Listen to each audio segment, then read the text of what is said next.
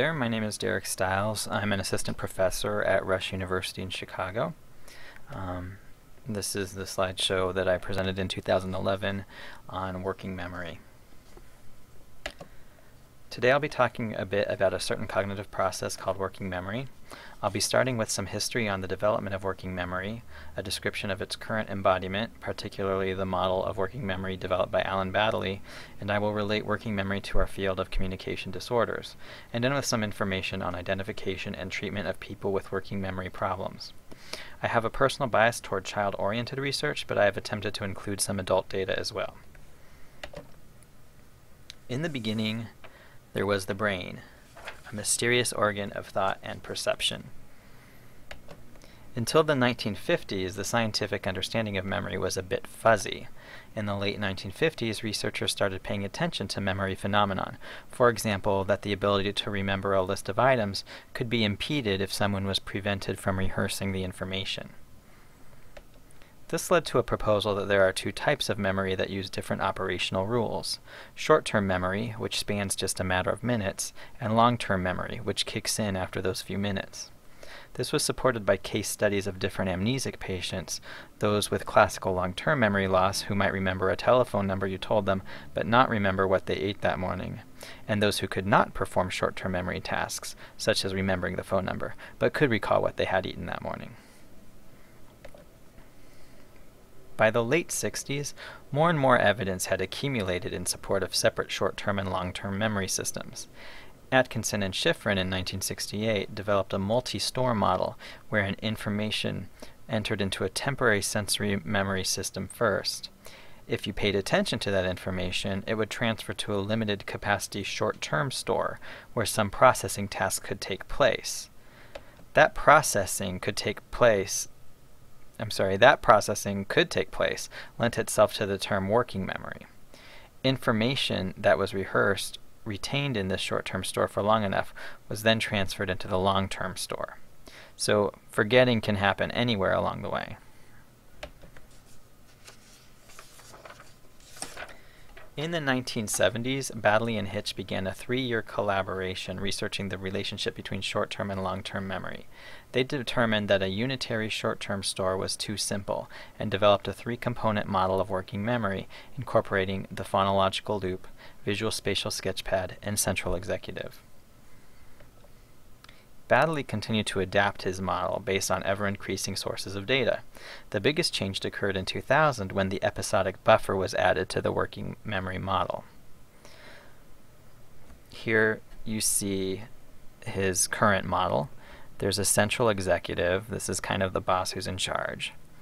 There's a phonological loop that is involved with um, memory for language um, spoken word type information, a visual spatial sketchpad that's involved in um, retaining visual information, and an episodic buffer that kind of helps synchronize the information that's coming in from the phonological loop or the visual spatial sketchpad.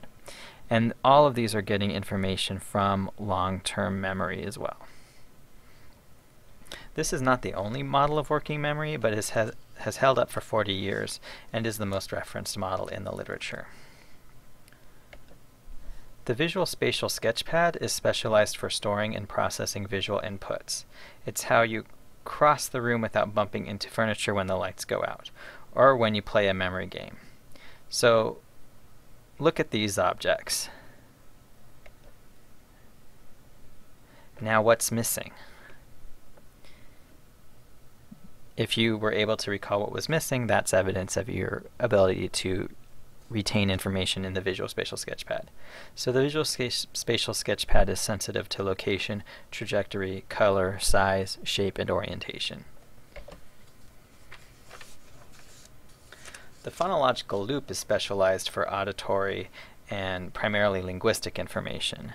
In this model, it consists of a store and a rehearsal mechanism. This subvocal mechanism may not kick in until around six or seven years of age. So we're going to play a game with your phonological memory to demonstrate just how fragile it is. So um,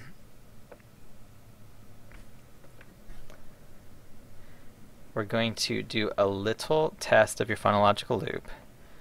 So if you have a piece of paper, you can do this. You're going to see a series of words, and I want you to try to remember all of them. And then when you see the pencil, write them down in the same order as best you can. So don't write the words down until after you see the pencil. So the first list you're going to do is going to be considered the baseline list.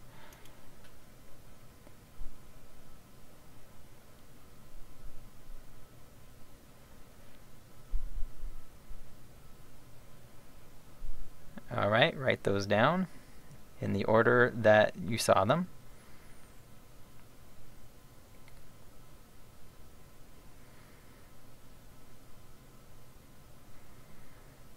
Alright, we're going to go to the next list. You can label this list as AS. And for this list, I want you to be saying the, the, the, the, the, the, the, the entire time that you see the words and also the entire time that you're writing down the words.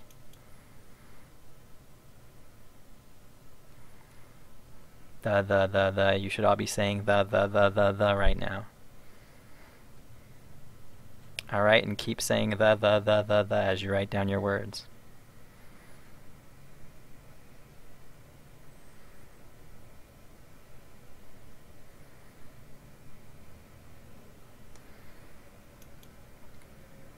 Okay. This list you don't need to be saying the, the, the. Just want you to do like we did with the first list.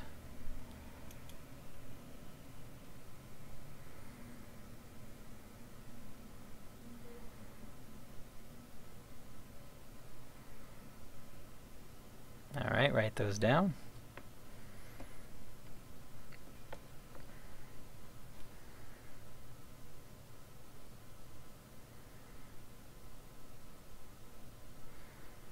All right.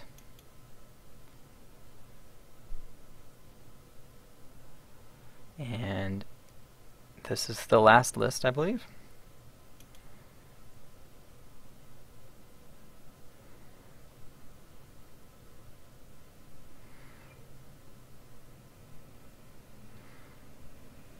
So write those down in the order that you saw them.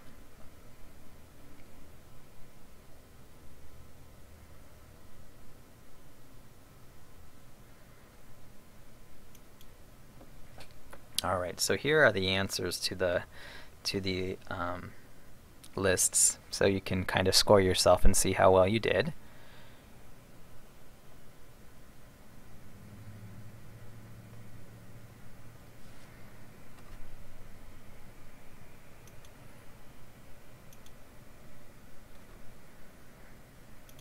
All right, so you may have experienced some of the interference that can occur um, in the phonological loop. Um, so one way that you can interfere with the memory system in the phonological loop is through what's called articulatory suppression. So that's what you experienced when um, you were saying the, the, the, the, the. Your articulation of words that were unrelated to the words in the list made it more difficult to remember the words on the list. Also, longer words can affect how well um, you're able to recall. So the longer the words are in the list, the hard, the fewer you can remember. And then the irrelevant speech effect is if you're trying to recall those words and you're hearing somebody else talking and saying irrelevant things. So that also makes it hard to um, encode um, or keep those words in the phonological loop. Um, also, phonological similarity, so where the items are similar to each other, um, what happens is those items can um, interact with each other within the the storage of the phonological loop, and so it becomes easier to um, kind of mess up the list. So that one word list where a lot of the words were similar, like mat, man, and can, um, some people have more difficult times with those lists because the words are relatively similar. But there is an auditory advantage. Um, so you were seeing the words. If you had actually been listening to the words being spoken to you as opposed to reading them off the screen, that would have improved your performance. So the phonological loop actually seems to be kind of tuned in to auditory information and auditory input. So the episodic buffer, that's that recently added component, and it helps describe the relationship between short-term and long-term memory and why sometimes maybe if you forget something in short-term memory, the long-term memory systems can kind of help um, support um, re, remembering what, what was in that short-term memory system. Um, and then there's also um, evidence for chunking across modalities. So visual and phonological information that are arriving to you together might be processed a little bit differently than visual information alone or phonological information alone. And there's MRI research supporting that different mental processes are engaged during this kind of chunking process.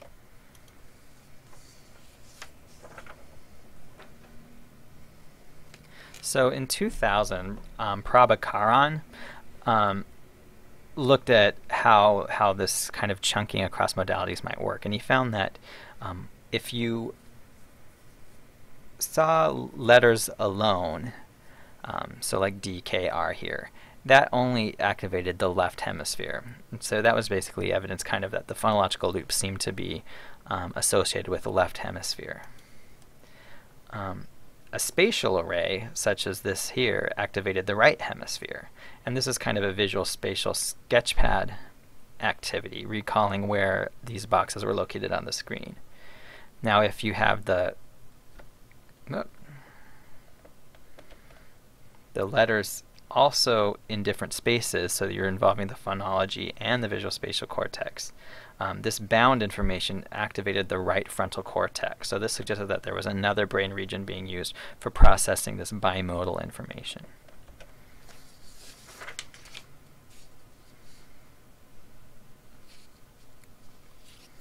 So it's still relatively undefined structure compared to others. So sometimes you'll see episodic memory referenced in an article, and that's usually regarding memory for phonological and visual information. So some things to consider about the central executive, which is really the the big boss of this whole system, is that it's very flexible, but it's also considered to be a finite resource. So some of the things that the central executive system is involved with um, are related to attention. So allocating attention, you know, choosing what we're going to send our attention to, um, updating the information that is coming in, um, dividing attention. So if you have to um, focus on multiple things simultaneously, and then sustaining attention, and trying to keep keep our attention when maybe something's not really exciting us very much. And also, the central executive in, is involved in inhibition, which is really kind of tuning out the things that we um, may not want to be distracting us. But uh, central executive system is a finite resource, meaning that if there's too much stuff going on, it can break down. Executive function kicks in for events that are non-habitual. So, you know, a lot of the things that we do in life are just kind of the same thing day after day, and they're very routine, and we don't need to um, pay much attention. But if we ever come out of our routine, the executive um, function is what kind of kicks in and makes sure that we're doing the right thing. So you can think of times when maybe the um, that system has failed, like if you um, normally drive to you know the grocery store on Saturday and this Saturday for a change you're going to visit a friend and you end up starting to drive to the grocery store anyways. Um, that's an evidence of failure of that executive function kicking in. Um, an individual with executive deficits may demonstrate problems across different areas, including attention, working memory, um, inhibition, and shifting attention. So hopefully right now you are all paying attention to me, and if you are, that's good, because that means that your executive system is working.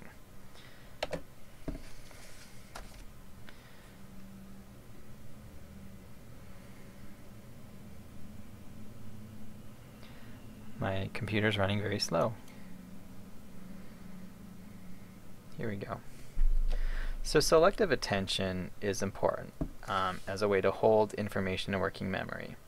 And so here's an example of a good student who is reading maybe something about genetics. But maybe there's other, possibly more interesting books available to look at. Um, but they're not necessarily a huge distraction. But suddenly the student's cell phone vibrates. Is it an important message? Should you look at it now or keep studying? And what is up with these nutrition students? Don't they have anything better to do? And oh my gosh, was that a bat? So what can happen is that the number of distractors in the environment can become too much, which leads to basically exasperation and, and making it difficult to think. Um, and that's kind of the breaking point of, of the central executive. Executive function peaks in adulthood, and then with aging, things begin to change again. Um, things like switching and flexibility decline although um, strict attention seems to stay relatively constant throughout old age. And to complete executive tasks, older adults seem to engage more neural systems than young adults, which may explain some of the slower processing that's seen in the elderly. And that's after accounting for just the general slowing um, in reaction times that you see in aging populations. So to summarize Baddeley's model, we've got the central executive system, which is involved in attention, inhibition, switching, and resource allocation. The episodic buffer, which synthesizes information across modalities. The visual spatial sketchpad, which is involved with location, trajectory, and visual features. And phonological loop, which is involved in um, memory for phonological inputs and includes the subvocal rehearsal mechanism. It's also finite and there's kind of a balance between how much processing is being done and how much information can be stored. So the fewer processing demands there are, the more could be stored in the system. Um, but as the processing demands increase, such as in the face of distractors, then the amount of storage seems to uh, decrease. So now I'm going to be talking about working memory as it relates to speech and hearing. And this is just a sampling, and researchers are continuing to discover more and more about the relationship between working memory and communication disorders, but there's still a lot um, that's interesting. So there's some evidence to support that working memory is used for vocabulary development. If a child cannot remember the order of the phonemes in a word that they're hearing, or retain the phonological information as he maps it to the semantic content, um, such as matching the word kitten to the object kitten, then that representation will be unstable.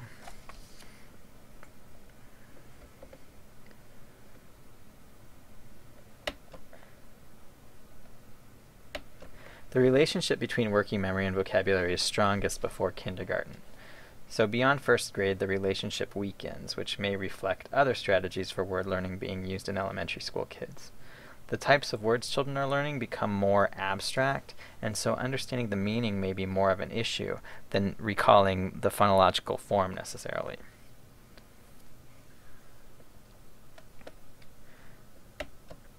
Working memory isn't restricted to vocabulary development. There's evidence that children with better working memories will do better at producing and understanding syntactically complex sentences, such as, the hippo that the lion kissed on the nose was running into the jungle. So I'll read that sentence again and then I'll ask you some questions. The hippo that the lion kissed on the nose was running into the jungle. So whose nose was being kissed? And who ran into the jungle?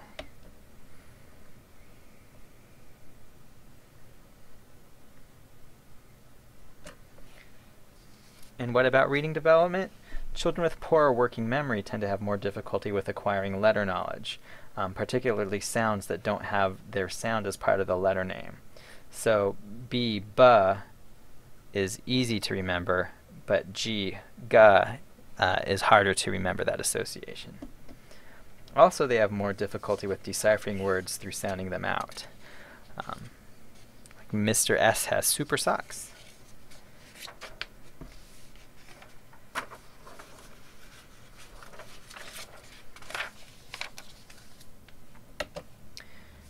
In textual comprehension, children are building a mental model of the information. They establish links between the sentences in the text and between the text and their general knowledge. So working memory's effect appears to be strong between 8 and 11 years old. So, in a text such as this, last night Jill walked home through the woods. There was no moonlight, so Jill could hardly see her way. She had just been to the movie theater with her friends. She walked along the path. The moon was so bright that it lit the way. Jill lives at the other side of the woods. Um, children with um, working memory problems have a harder time identifying discrepancies in passages. So, example, here you can see that in one sentence it claims there's no moonlight, and in another sense it claims that the moon was very bright. Um, so, um, that can be evidence that to remember you know longer passages requires a more robust working memory system. Children with specific language impairment um, may also evidence working memory problems. Um, some children with SLI have slower verbal processing, smaller memory spans, and some difference in executive function regarding inhibition and sustaining attention. And they generally present with um, intact visual spatial storage and task switching abilities. So it's kind of a selective disruption in children with SLI.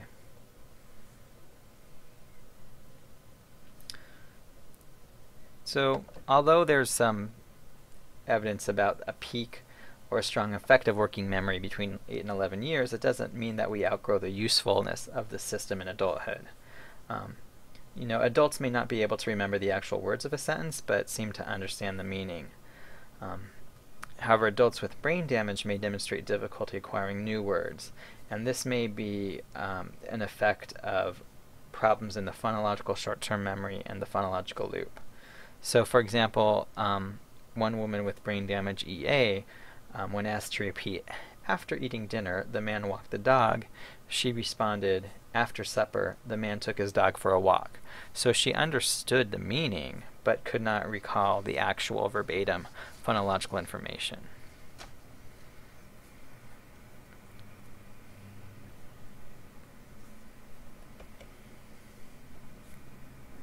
So in summary, for vocabulary, word learning, and working memory is most strongly associated to before first grade.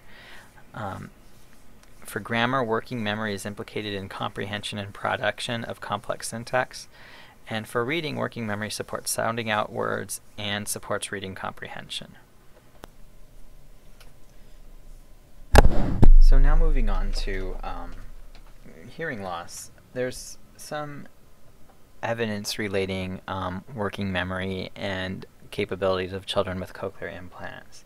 So deaf children who had received cochlear implants were found to have slower articulation speeds and smaller memory capacities, and this was thought to be due to slower verbal rehearsal in the phonological loop. Um, this also strongly correlated to poor word recognition skills. Children who were in oral language environments demonstrated better performance, um, and these children also demonstrated poor performance on visual spatial working memory tasks, like the Simon tasks. So these children may not be supporting their performance with um, generated linguistic cues.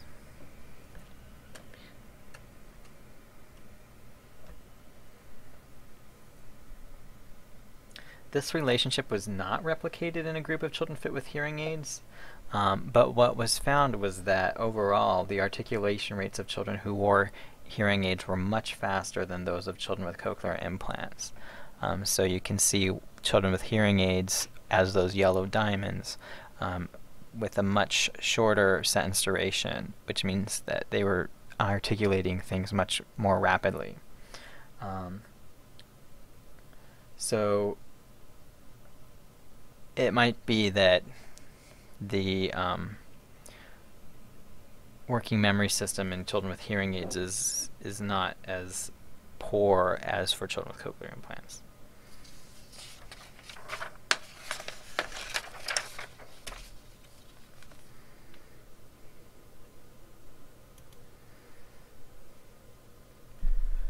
In another study, cognition was measured using a working memory task where subjects were shown a continuous series of letters, such as this, and had to determine after each letter whether the previous three letters shown formed a word. this set their baseline cognitive ability. And then they had to do a sentence repetition task in noise. Um, this was done with two different noise conditions and two different conditions of compression in the hearing aids.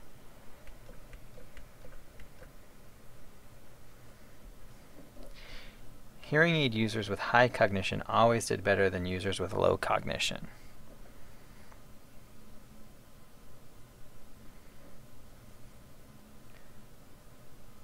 But this disparity was most noticeable in the condition of recognizing speech in modulated noise when the hearing aids were set with fast acting compression. So 40% of the variance in understanding was explained by cognition in this in this particular um, experiment. So participants who had the low working memory score showed greater benefit from slow compression, and participants with high working memory showed greater benefit from fast compression. Um, so there's some clinical implications for um, the role of cognition and, how um, perhaps hearing aids should be fit. But if we're not administering working memory tasks in the clinic, we aren't able to have that information in order to um, make decisions on amplification. So in summary, children with cochlear implants um, are more likely to have poor working memory, and this may help explain their poor word recognition and their poor academic skills in general. Um, adults with hearing aids um, we found that in speech babble working memory is more important than the threshold of hearing and that fast compression times make sentence understanding and background noise difficult for adults who have poor working memory. So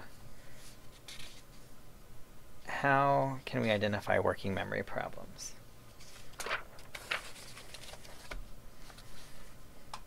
There are different signs of working memory programs.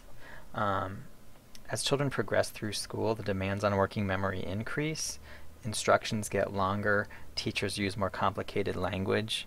Um, so, so these signs of working memory problems can start to um, appear later through school. Um, so for example, forgetting the steps in a series of directions. Put away your math book and bring your worksheet up here and then take out your social studies book and do the reading and problems for chapters 4 and 5. So that's a lot to retain in memory. And then if the grammar of a sentence is complex, um, children might make mistakes. So to save the princess, the knight fought the dragon. Um, it would be easier for a child to understand the sentence if it were the knight fought the dragon to save the princess. Children who exhibit these signs might also have working memory problems, such as mistakes recalling events in the right order, omissions in writing sentences from memory, um, and mistakes following numerical patterns, such as counting by threes. Um, children with working memory problems are typically in the low ability groups for literacy and numeracy. Um, in groups, they tend to be reserved and tend to not volunteer information and they are aware that they struggle to remember information, so they will know that they have trouble with their memory. But these children play well with others and are able to make friends. And sometimes teachers will interpret working memory deficits as attention deficits, such as he's in a world of his own or she doesn't listen. There are a number of intelligence tests that have working memory subtests, so um, the WISC has a working memory index. Um, the Woodcock-Johnson cognitive ability test has some subtests that uh, um, enlist working memory. Um, there's also a survey called the WMRS, the Working Memory Rating Scale, that teachers will fill out. Um, this includes items like child does not volunteer answers in group situations, um, to move to the next step in activity. The child needs frequent prompts by the teaching staff, um, etc. There are few test batteries that are specific to working memory. There's the WMTB, which um, is available in the United States, and the AWMA, which is only available in the UK. Um, these batteries generally include short-term memory tests, including verbal, visual spatial, um, and working memory tests. Um, and just to remind you the difference between a short-term memory test and a working memory test, short-term memory is just engaging storage, whereas working memory involves um, manipulating the items that are being stored in memory. So how does one support a child who has working memory problems?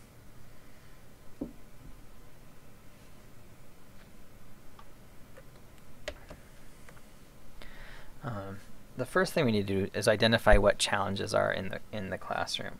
So this sentence here it comes from a fifth grade science test textbook. Photosynthesis is the process by which plants, some bacteria, and some protists use the energy from sunlight to produce sugar, which cellular respiration converts into ATP, the fuel used by all living things. So, you know, there's a lot going on in that sentence that a child with working memory might just kind of interpreted as photosynthesis is the fuel used by all living things, which would be um, an incorrect interpretation of that sentence. So, what kind of discourse is going on in the classroom? How is the classroom being taught? Um, is there a lot of complex sentences? Is there few um, visual supports? Things like having um, items on the chalkboard. Also, um, what are the instructional materials like? Do they include complex narratives and complicated syntax, or are they more straightforward? So, to provide support in the classroom, um, things that help auditorily are give one direction at a time, make the directions clear, short, and specific, and repeat important parts of instructions. Um, also, writing the instructions on the chalkboard is helpful. Um, having number lines available for math, having checklists. And it's not so much that the information is visual, but that the information is perpetual. The information is is there that the child can refer back to it if they've forgotten. Um, not so much for the spoken word. Can working memory be improved? So here we see a picture of a dad with a visual support for his grocery shopping. He has a shopping list. Um, but there's um, a lot of research going on as to whether working memory can be improved or whether it's kind of a fixed state in our bodies and it's biologically predetermined. Um, and there's new training programs that are out there that are being tested with some positive results for this. Um, so there may be some drugs that are helpful for improving executive function and working memory. So for example, methylphenidate is used to treat ADHD and narcolepsy bromocriptine is used to treat um, infertility and Parkinson's disease, um, but may also improve executive function. And then modafinil, which is an adrenergic psychostimulant, is being used in the military for um, improving alertness when um, the soldiers are under fatigue. So these are drugs that are indicated for improving executive function, but they may not be helpful in cases where problems are stemming from capacity limitations. So basically, um, you know, it's only affecting a, a part of the working memory system. There are several different kind of training programs that are available for children between 7 and 15. So for example, Fast ForWord, CogMed, um, the AWMA available in the UK, and then this um, soakyourhead.com is a free online tool that's supposed to help improve working memory. Um, do they work?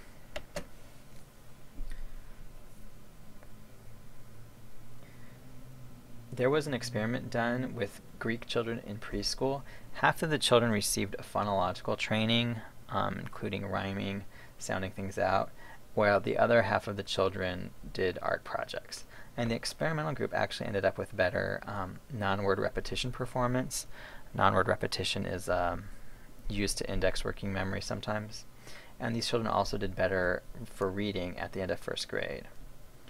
Um, so it's thought that maybe this helped improve some of the automatic processes, this kind of like practice with rhyming and practice with sounding out things. Just that practice helped make some of the things more automatic for children and that released some of the cognitive resources that could be used to be devoted to other things such as you know improving reading skills etc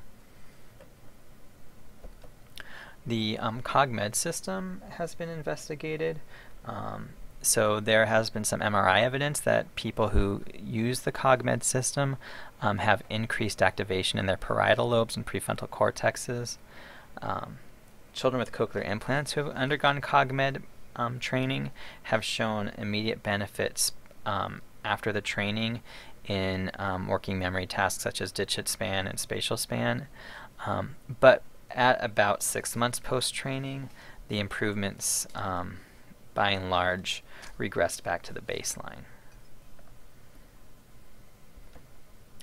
So it is to important to be aware of disturbances in working memory. Um, you might see this in patients with stroke or brain injury. You might consider um, the possibility of working memory problems in children who have reading problems, children with cochlear implants.